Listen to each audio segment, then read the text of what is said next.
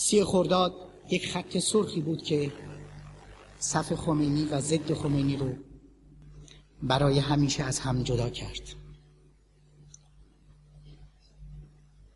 از این پیشتر در سالهای هشت و نه گفته بودیم که ما چنگ در چنگ مهیبترین نیروی ارتجاعی تاریخ ایران هستیم. نیرویی که از عمق اعثار جاهلیت سر برداشته.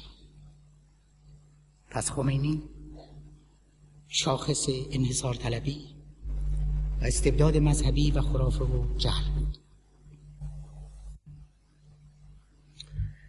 با دجالیت بی نظیر به قول فروخی از حسیر شیخ آمد دم بدم بوی ریا.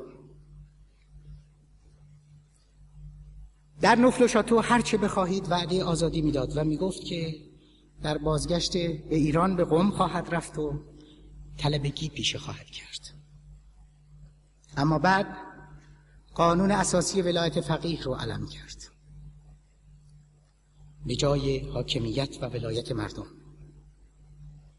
بعدش هم با سراحت گفت سلطنت مطلقه مادام العمر فقیه. و روی این همه هم چاشنی ضد استکباری محصول کارگاه های نمدمالی قوم رو مالید. و یک دو جین از احزاب قد و نیم قد ریز و درشت حسرت به دل رو هم در این مسیر با خودش داشت.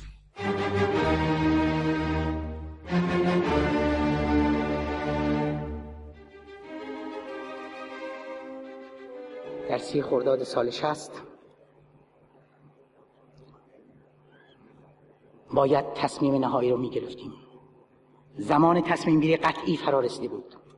در برابر ارتجاع مهیب و قهاری که می‌رفت خودش رو یک پارچه و یک پایه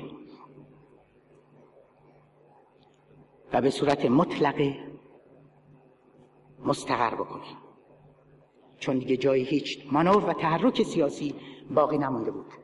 یا باید تسلیم می شدیم و به حیات خفیف و خائنانه رضا می دادیم. و فی المثل مثل حزب توده در کودتای 28 مرداد به مسئولیتمون پشت می کردیم و در تاریخ ایران نفرین می شدیم. و یا می باید با سنگین ترین بهای ممکن با الهام از سید شهدا حسین ابن علی علیه السلام به طرز آشوراگونه از شرف خودمون و خلق در زنجیرمون نگهبانی می کردیم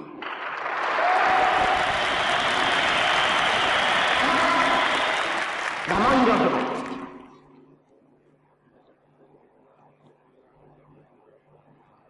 و این نسل این راه رو برگزید. و از اون پسی خورداد با همه درخشش و سرخامیش حد فاصلی شد. سرخگون و شاخصی. البته از داد مقاومت. که بلا استثناء یا در ابتدا یا در انتهای حرفاشون بالاخره می‌رسن به سی خورداد و نفیش اون سی خورداد رو الگویی می‌شناسند از آنچه که نباید کرد. و تخته می‌کنند این مقاومت رو به سود آخوندهای خوناشام. ولی ما و ملتمون اون رو الگویی می‌شناسیم و سرمشقی از آنچه باید کرد.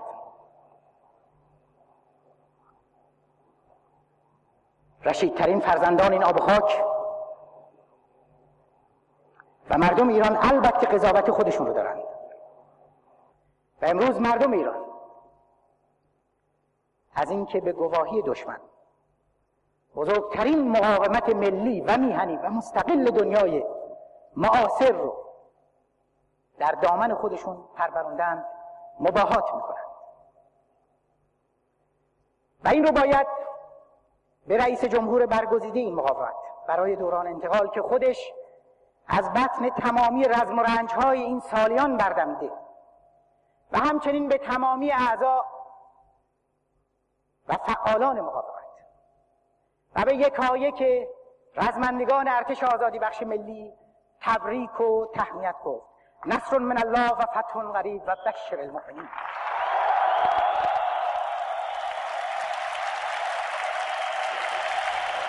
بشارت بر اونهایی که بشارت بر اونهایی که در این سالیان رنج مقاومت رو تحمل کردند و فدیه هاش رو دادند و از همه چیز خودشون گذشتند.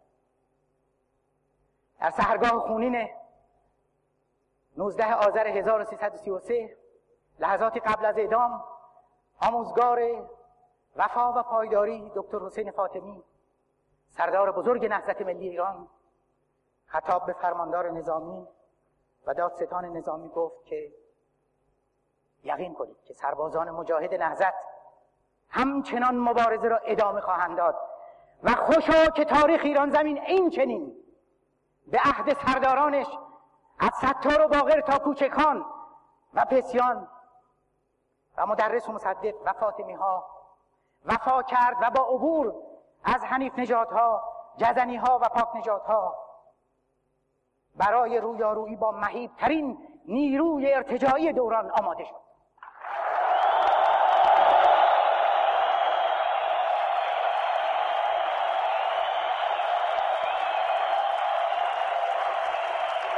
مصدق. مصدق.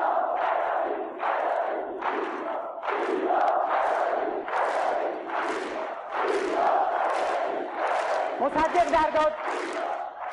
مصدق در بیدادگاه نظامی فریاد می‌زد. و میخورشید اونجایی که حق در کار باشه با هر قوهی مخالفت می‌کنم. از همه چیز میگذرم. نه زن دارم نه پسر دارم نه دختر دارم. هیچ چیز ندارم. مگر وطنم را که جلو چشمانم دارم.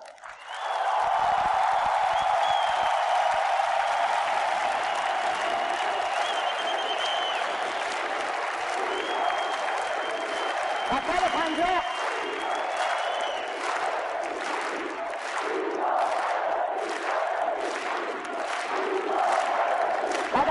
پنجاه. و ما در سال پنجاه در همون بیدادگاه های نظامی شاه اعلام کردیم که جملگی فرزندان مصدقیم و امروز باید تکرار بکنیم که ما هم فقط وطنمون و سمبل و رئیس جمهور برگزیده مقاومت اون رو در برابر چشمانمون داریم.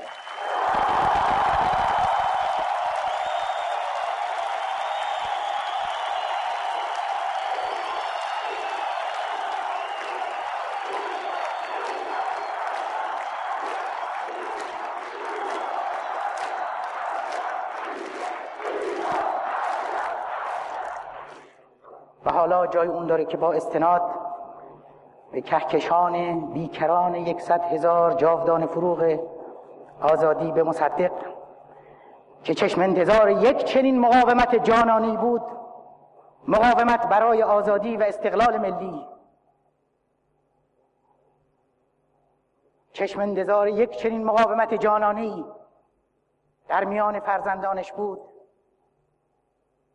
بگوییم. نگاه کن تمام آسمان من پر از شهاب می شود.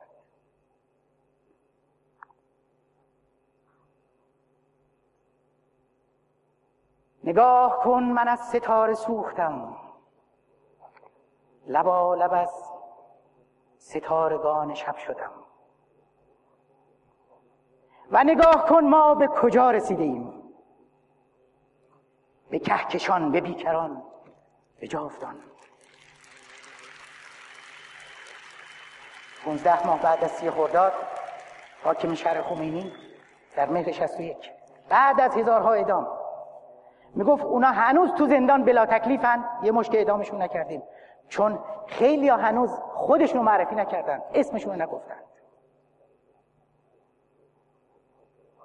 چه بسا اینهایی که از گفتن نام خود عبا داشتهاند معلوم می شود که افراد سرسختی بودند و قال الحواریون نحن انصار الله. و خوشا نسل سرفراز رهایی. به گفته کریم پور شیرازی روزنامه‌نگار آزاد و شهید و سرفراز نهضت ملی ای بخون خفته شهیدان به شما باد سلام. ای کفن پوش عزیزان به شما باد سلام.